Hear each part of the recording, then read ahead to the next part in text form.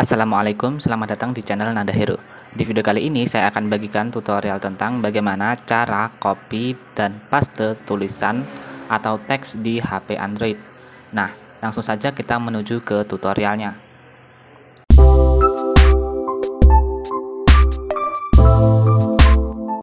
Di sini ada beberapa cara yang akan saya bagikan. Pertama kita akan copy dan paste teks terlebih dahulu. Nah, di sini kita buka aplikasi Google Chrome. Sebagai contoh di sini saya akan mencari artikel dari situs web seperti ini.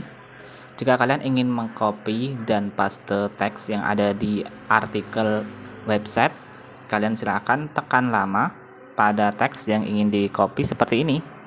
Kemudian silakan kalian pilih mana saja yang ingin di copy atau disalin. Nah, seperti ini.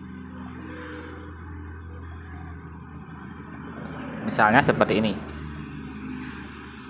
Kemudian di sini kalian pilih salin yang ada di sini. Nah, salin itu sama dengan copy dalam bahasa Indonesia. Kemudian di sini kita paste ke catatan sebagai contoh. Nah, untuk melakukan paste atau menempelkan teks yang tadi kita copy, kalian bisa lihat di sini. Kadang muncul di sini, jika tidak muncul di sini. Nah, dengan menekan seperti ini sudah melakukan paste ya, teman-teman. Jika tidak muncul di atas keyboard, silahkan kalian tekan lama pada ruang yang ingin dijadikan untuk uh, paste seperti ini lalu silakan tempel tekan lama kemudian muncul perintah tempel maka silahkan kalian tempel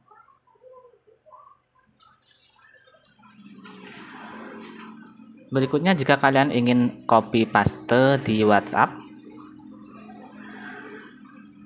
kita buka terlebih dahulu aplikasi WhatsApp.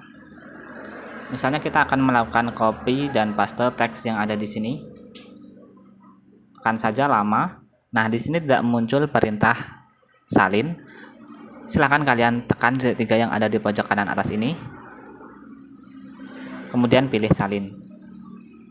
Nah, untuk paste sebagai contoh di sini saya paste saja di sini ya.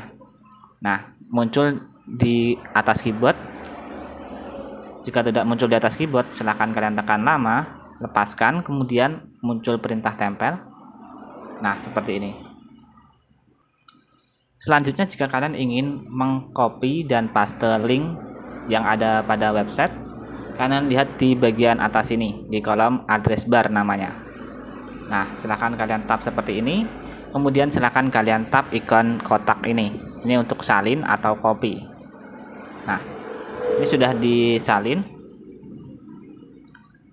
kemudian misalnya di sini saya paste di catatan tekan lama kemudian tempel nah jadi cara paste itu tekan lama kemudian lepaskan nanti akan muncul perintah tempel atau paste jika dalam bahasa Inggris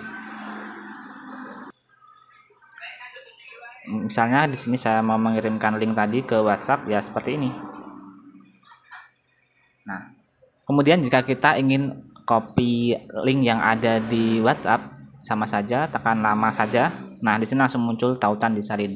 Jadi tidak perlu menekan titik tiga yang ada di pojok kanan atas seperti melakukan copy paste pada teks di WhatsApp. Berikutnya di sini jika kalian ingin copy dan paste file yang ada di file manager. Nah, file ini bisa berupa foto atau dokumen dan lain-lain. Kita buka saja bagian file.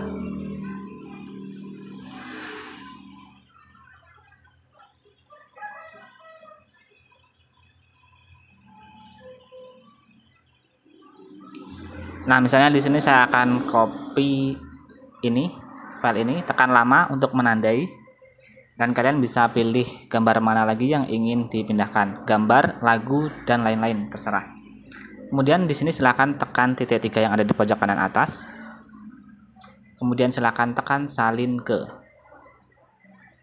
Kemudian di sini pilih uh, penyimpanan yang ingin dijadikan lokasi untuk paste atau tempelkan file yang kita salin. Kemudian misalnya di sini saya akan paste di folder DJM. Kemudian kita tab tombol salin di sini. Nah, cara ini setiap merek HP itu berbeda ya teman-teman. Silahkan kalian sesuaikan saja. Di sini eh, di sini untuk filenya masih tersedia karena tadi kita salin ya. Jadi ada dua file. Nah, di folder DJM juga sudah ada filenya. Nih. Oke, itu saja video tutorial kali ini. Semoga bermanfaat bagi teman-teman yang membutuhkan. Sekian, sampai jumpa di video selanjutnya di channel Nada Hero.